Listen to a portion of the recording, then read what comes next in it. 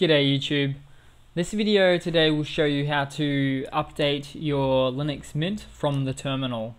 Now you can do this instead of going to the update manager and after a while you'll just get used to doing it this way.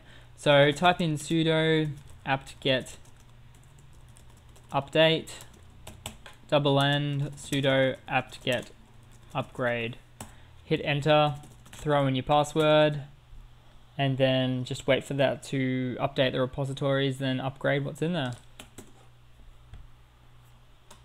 It usually takes about, uh, you know, one or two minutes, just depending on uh, how recently you've updated the, um, the repositories. I haven't updated mine in some time, so it might take a little bit of time, but that's pretty much it, guys. Um, any questions, just give us a buzz, and I hope that's been uh, a fun, neat little trick to get start uh, to start using the terminal, the command line. All right, cheers.